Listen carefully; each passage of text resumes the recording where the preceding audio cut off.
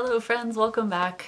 I'm excited to announce this new mini series of videos. I'm not sure how many it's gonna be. We might end up doing lots of them. Basically, the topic that I wanna cover in these videos is how to paint more expressively. I'm gonna be using lots of different mediums uh, like watercolor, gouache, ink, mixed media. More than happy to take suggestions as well. But each video will be around six minutes. I'll just kind of talk you through my process and maybe give you guys ideas for how you can paint more expressively. And if you have any reference photos that you want to send me, if I think that it'll work, I will paint it with your permission, of course but hopefully this will help us grow as a community and stay inspired to paint expressively. So let's get into the video.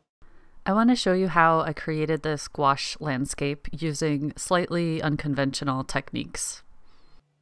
It's a good idea to keep a photography folder ready to go so that when you do feel inspired to paint, you don't waste too much time on the internet searching for a good reference. If you want to use this reference photo and paint with me, you can grab it in the link that's in the description. We're going to use our sketchbook today and in order to use our palette knife like this to scrape away the paint, we're going to need a slippery surface. So I'm going to seal this page with acrylic paint. It's not my favorite surface to paint on, but it works really well for this technique.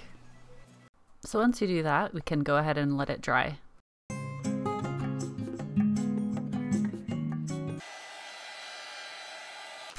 If you want to know what materials I use today, check out the description below the video.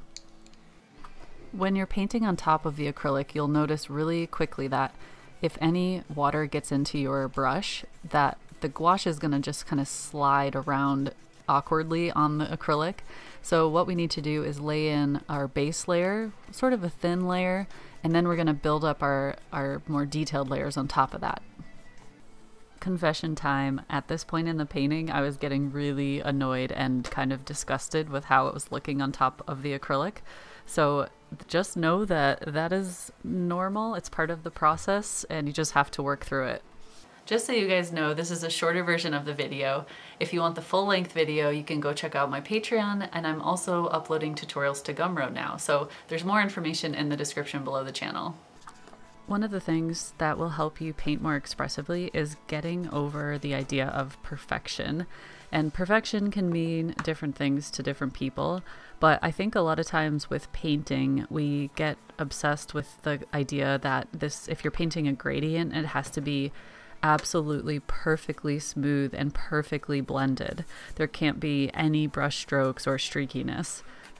But the problem with that mentality is that it ends up looking very unrealistic as well as boring if every single section of your painting is perfectly smooth and blended but oftentimes expressive paintings do reveal the brushstrokes and evidence of the artist at work very clearly. So if you look at some of your favorite expressive paintings, you'll probably be able to pick out where the artist decided to leave things more raw and loose. And I personally find that to be some of the most interesting areas of a painting. And now that we're going into our second layer, we can start building up some of the details. So I'm going to start by using a little bit more of a highlight tone for the mountains. And that's a mixture of my blue, red, well, which is technically rose, and gray, which will help lighten it up a little bit and it'll really make that first shadow layer recede into the distance. So this is how we start building up the depth of our mountains. Try not to spend too much time obsessing over every the placement of every single brushstroke.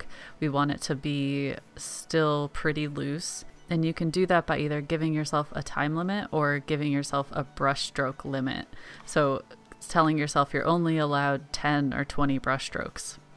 I'm slowly introducing warmer tones into the base of the mountain, and that will kind of bridge the mountain with the foreground just a little bit. And now for the fun part. Grab a palette knife and start picking up a mixture of a brownish orange tone and your green and start sweeping it back and forth over the foreground. And the goal is to let the paint release onto the page very sporadically. So we don't want solid streaks of color. We just want little pieces, little patches of color here and there. Uh, the textured paper does a pretty good job of keeping our brush strokes from getting too solid. But if you accidentally put too much down in one area and it looks too solid, you can always just wipe it off. The beauty of gouache is that it, it's always workable. Once you're happy with that foreground, it's time to start scratching. So if you turn the palette knife to the side, you'll get really, really thin scratches. If you face your palette knife directly onto the painting and scrape, you'll get slightly thicker lines. So kind of play with it, go back and forth, and see what works for you.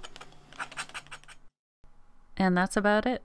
In total, this painting took me about 15 minutes uh, working rather quickly and loosely, and I hope that it inspires you to try the same thing.